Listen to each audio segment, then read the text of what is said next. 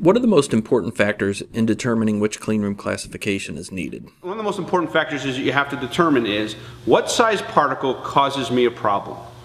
Is it any size particle? Is it a certain size range of particle or so forth? And what you mostly find is people look at their the cleanroom classification when they're trying to decide what classification they need and they go to the lowest level particle count.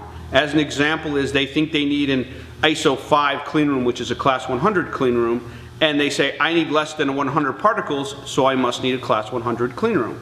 But if that particle is half a micron in size, or 5 micron in size, that would be a significant difference.